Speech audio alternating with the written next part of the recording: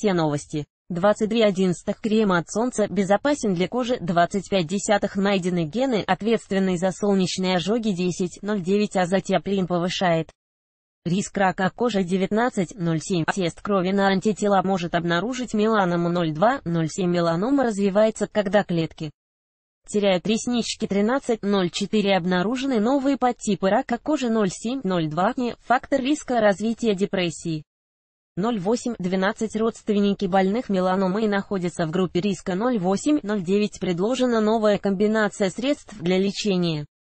Меланома 11.08 Проверка родинок на раковые мутации не дает достоверных результатов.